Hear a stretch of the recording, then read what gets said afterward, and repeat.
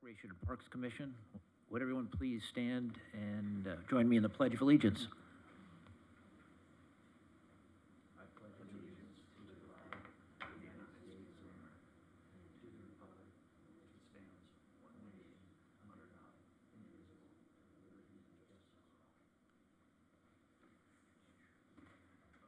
Okay, Monse, roll call, please. Commissioner Kelly Watson, Present. Commissioner Julie Stolnak, Present. Commissioner Dave Lube. Uh, For the record, he is absent. Vice Chairperson Lee Davis Present. and Chairperson Bob Moda. I am here, thank you. Uh, Tonight, presentation, introduction of the new Community Service Director. Yes, good evening, Commission. Um, To my left, I would like to introduce you to our new director, Ali Mancini. So I'll just quickly turn it over to her. Um, She's been with us about three weeks now, and let her introduce herself. Yes, good evening, Honorable Chair and Vice Chair and members of the commission. It's my pleasure to be here this evening, and um, as Ryan mentioned, I think I'm on my third week here with the city. It's been uh, wonderful. Uh, Everybody has been so welcoming and, and kind, and um, it's been very busy, but in a really good way. Um, I'm thoroughly impressed by all of the things that the department is doing and by the leadership that's already in place. Um, So I hope to just be an addition to that. Um, and I've met uh, some of you already one-on-one, and I think I've got one-on-one scheduled, scheduled with the rest of you, so we can talk uh, more individually, but I look forward to working with you. So thank you. Thank you very much and welcome. Uh, Public communications. Seeing none, we'll close public communications, but I'm going to ask Mo- Monse, were there any uh, by email? No, none. Thank you. We'll close public communications. Move to consent calendar. Approval of the minutes of the Recreation and Parks Commission meeting of June fifteenth, twenty twenty-two. Anyone? I move we approve the minutes. Second. All in favor? Aye. That is four oh. Thank you. There is no unfinished business. New business, discussion and possible action regarding cancellation of the regular meeting of the Recreation and Parks Commission on August seventeenth, twenty twenty-two, and December twenty-first, twenty twenty-two. Yes. Ally, go ahead. Yes, Honorable Chair, Vice Chair, and members of the commission. Um, Apparently, there has been some discussion or a request to cancel the regular meeting of the commission on August 17th, 2022. Uh, I believe that's because we will have a special meeting uh, that month on August 31st, a joint meeting of the Parks and Recreation Commission and the City Council regarding the Recreation Park Needs Assessment.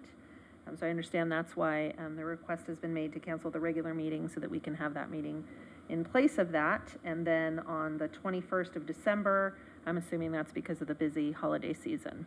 And that concludes my report. Anyone on that?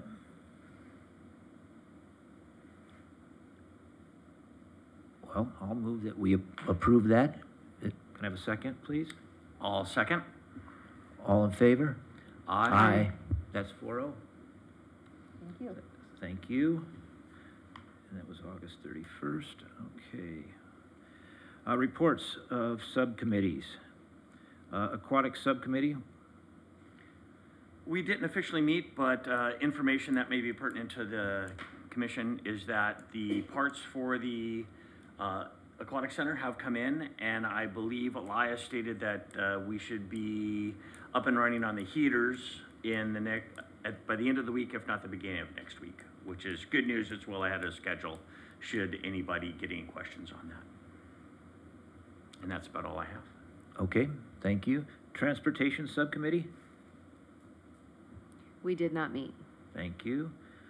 Youth Sports Council, we did not meet. Staff reports, Aricia is not here tonight, uh, Yes, um, Ericia is out tonight, but you do have her report in front of you. And uh, just a few highlights from the month. Um, Obviously, we had our big Fourth of July celebration in the park, which was very well attended.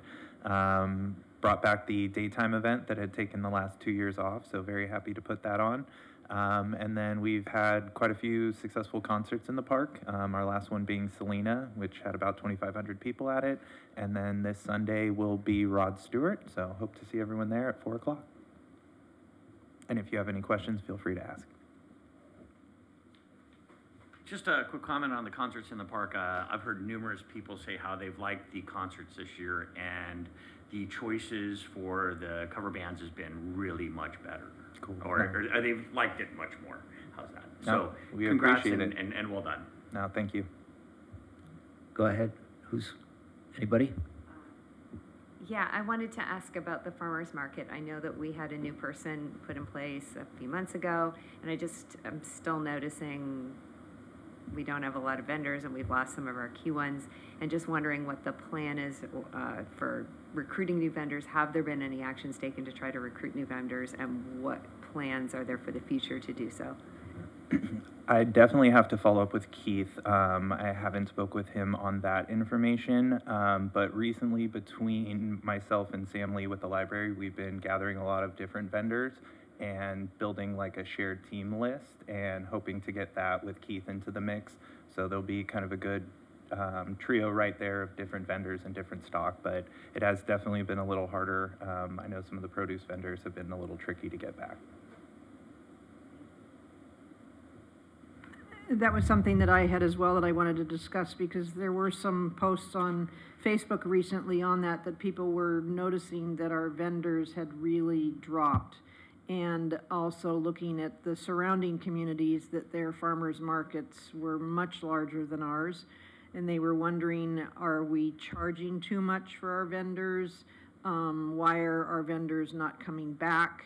Um, and that, you know, our, our, um, our, our produce was, was a lot less than what, say, our, our vendors of merchandise were. And, um, but, you know, the, the surrounding, I mean, yes, Torrance is, is huge, but the surrounding cities had much larger, um, farmers markets, and why were we struggling to keep our vendors coming back? And, um, so I wanted to ask, uh, those questions as well. You know, what was, what does the problem seem to be? Um, and, you know, it's always been Thursdays. Is, is Thursday the problem?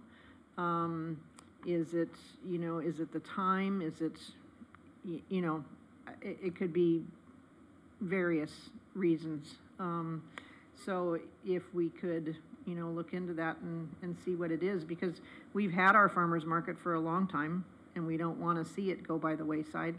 Um, but I think we need to figure out what the issue is, because I, I think the issue's been there for quite a while. Um, the other thing I had, I, I wanted to ask if it was looked into, um, the pickleball fix. When we had the, uh, man come and speak about, um, the pickleball issue of the residents having that group that was coming. And then, uh, we had classes that were scheduled. And, uh, I was wondering if anything took place with that and how that was rectified or if it has been rectified. Do you know?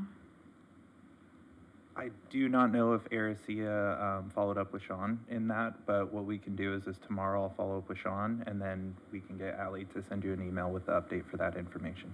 Okay, Yeah. thank you. Okay, thank you. Uh, Next staff report, Christopher Henson, Parks Maintenance Superintendent. Uh, Good evening. Um, Although my report is short, we've been very busy this month, uh, primarily with special events, July 4th and and the concerts in the parks. Um, July, we officially moved back home with recreation folks, so we're now Rec and Parks and Library. So uh, we're glad to be in that position again.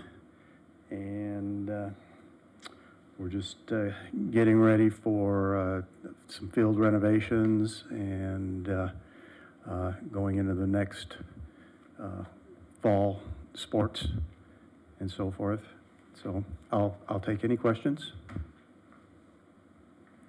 Just real quick, uh, the Richmond Field, I went by today, I noticed there was some plumbing being done as there was, uh, some water that had uh, drifted out into the field. Is there any issue with it? Yeah, there was a uh, broken quick coupler. Um, Not sure how it got broken, but uh, Fair they're doing the repairs today. Simple fix? Yes. Perfect, thank you. And Christopher, I wanted to thank you for taking care of those trees so quickly along Washington, those uh, six or seven dead trees. Sure. um, That I had told you about that uh, needed to be taken care of, and they were taken care of very quickly. And so hopefully, trees are gonna be replaced uh, along there, but it's nice to see that they were taken out because they were dead for quite a while. Right, And so it's nice that uh, it was taken care of quickly. Thank you. sure. Okay, thank you, Christopher. Director reports. Ali Mancini, Community Service Director. Yes, uh, Honorable Chair, Vice Chair, and members of the commission, I do not have a report this evening, um, simply because of my time frame and being so new, but um, don't get used to that. I'm sure I'll have plenty to speak to you about next month. So thank you. Thank you. Uh, Commissioner comments. Commissioner Watson, Ju- Kelly, I have no comments. thank you. Commissioner Stolnak, Julie, I have several. Um, I wanted to, um, bring up a few things, um, that I wanted to, um, I guess be looked into. Uh, in my walking around town, I- wanted to see who is responsible, I don't know if it's the city or if it's the scouts, but the doors that are on the scout house are in horrible condition. Um, so I don't know if it's the city's responsibility to replace those doors or if it's the scouts' responsibility. But the doors that are facing Grand Avenue, um, are in horrible condition, and I think that they need to be, uh, looked at, um, whether it's us or the scouts, I'm not sure. Um, also, I have been noticing in the mornings, and I know this would be an unpopular thing, but I think the city needs to address it or look into it. Uh, since the pandemic has happened, and I understand why it is taking place, but I think the city needs to look into it for liability reasons. That there are numerous personal trainers that are now holding personal training sessions in several of our city parks. And not looking at it as a revenue generating thing for the city, but I'm looking at it more as a liability issue for the city. That I think that the personal trainers at least need to have some sort of, um, liability clause with the people that they're training so that the city is released from liability if somebody is hurt in our parks during this training. And, um, and I think that if these personal trainers, um, are not El Segundo residents, I think that's an issue as well. Using our city parks to hold their business, um, and not paying something. I, I think it should be a, separate issue if you were an El Segundo resident versus not an El Segundo resident. But I think the city ought to look at it for liability reasons, number one. Um, and then, um,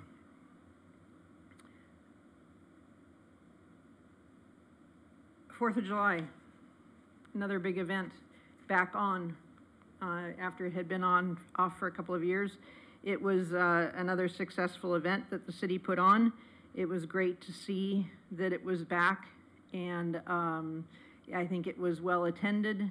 It was, um, uh, once again, well-organized. Uh, I was down there with Rotary Club, we were doing our watermelon eating contest. Um, didn't catch any kids throwing up like they have done in the past. You know, I think it helps to have the pie eating afterwards. I think when you do the pie eating before and then the watermelon, it, that's, gets a little sketchy. It's better to do the watermelon first and then the pie. But it was another great event to see all the families out and everybody participating, so, um, it, it went really well, and so I, I was glad to see that, uh, again. Um, and then, um, I wanted to congratulate Ryan Delgado for getting his uh, Community Service Award from the um, uh, Rotary Club and um, for the hard work that Ryan does for the city and in his position. And I was really surprised uh, to hear uh, his bio and to hear that Ryan Delgado was a punker. And to hear that he was in growing up in punk rock scene and all of that, I was really surprised to hear that. But it was it was nice to hear about Ryan's background and all that he has done and the job that he does for the city and his dedication. And so I just want to thank you for the job that you do, Ryan. No, thank you, um, and thank you for that tonight, and um, also thank you to the Rotary Club for the award. It was a very nice spot. I love the driving museum. You know, I bring my car down there, so it was great to have it there as well. And then I want to welcome Ally. I met with her this week, and it was it was nice to have some time to spend with you and get to know you. And uh, thank you for spending the time and um, you know talking with me as a commissioner and and seeing what it is that that we would like to to see uh, as part of your um, duties here, and and what it is that we could do is working together to uh, make our parks and rec and library a better place. So thank you very much and welcome. Thank you. Chair, if I may? Uh, I'm not sure how you guys handle commissioner comments typically, but if it's, if it uh, pleases you, I'd like to respond to um, Commissioner Stolnak's comments. That would be okay? Um, so Please. you- You brought up a couple of items um, that we will have to get back to you on. The doors on the Scout House, that could probably be uh, a simple email. I can follow up on that. Um, Appreciate the words of, of thanks for the Fourth of July event, and of course, congratulating Ryan. Um, But then the item of personal trainers, uh, I might recommend that you let staff do some research and perhaps bring back a recommendation or a report on that item. So if it pleases the commission, that would be my recommendation. All right? Please bring, please bring that back.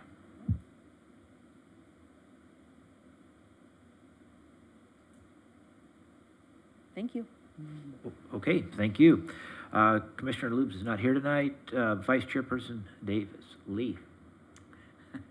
Yes, I just want to welcome you and thank you very much for uh, coming in. I think uh, I did meet with, with you as well, and I look forward to working with you. It sounds like we have um, kind of regained some footsteps within the commission, and I look forward to seeing, you know, some, some progress and some more um, interaction with us and the city. So thank you very much, and good luck. Thank you. Okay, um, I do want to welcome you, uh, like everyone else. Uh, Little, little backstory here.